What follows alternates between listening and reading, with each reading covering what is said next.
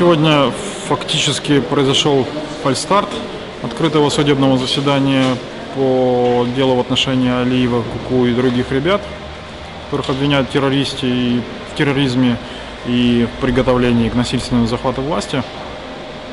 В связи с тем, что не явились адвокаты одного из а, подзащитных, подсудимых, фактически мы не смогли начать. Была небольшая только подго- подготовительная часть, и на этом все закончено. Отложено заседание на 14 февраля. Подсудимые доставлены в зал суда под конвоем. По видеоконференции участвуют защитники Легостов, Курбединов, Семедляев, Тимишев. Отсутствуют защитники Железняк, Рагулина, Алиев. Гражданин Российской Федерации. Гражданин Российской Федерации. В материалах уголовного дела имеется копия вашего паспорта гражданина Украины. От гражданства не отказывались, не были разрешены. Наказ.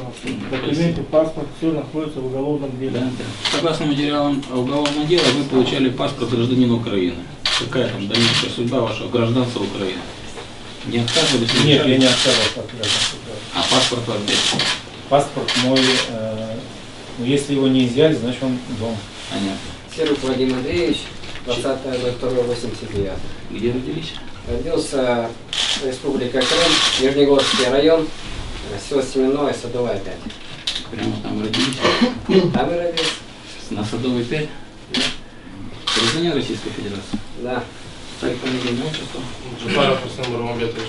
Число, месяц, год рождения. 28 января 1991 года рождения. По национальности. Крымский татарин, вероисповедание мусульманин. Э, Гражданин Российской Федерации. Да. Также получали паспорт гражданина Украины, Да. согласно материалам дела. Гражданство не отказывается, не были решены. Нет. Какого имени Русин Геннадьевич? Число, месяц, и год рождения. 26 июня 1976 года рождения. Где родились? РСФСР, Краснодарский край, город Новороссийск. Мне сложно судить об отличии этого процесса от севастопольского дела, которое было рассматривалось, но объединяющие признаки, они, в общем-то, налицо. А Нет какого-либо оружия, там, боеприпасов, каких-либо насильственных действий или приготовлений к насильственным действиям.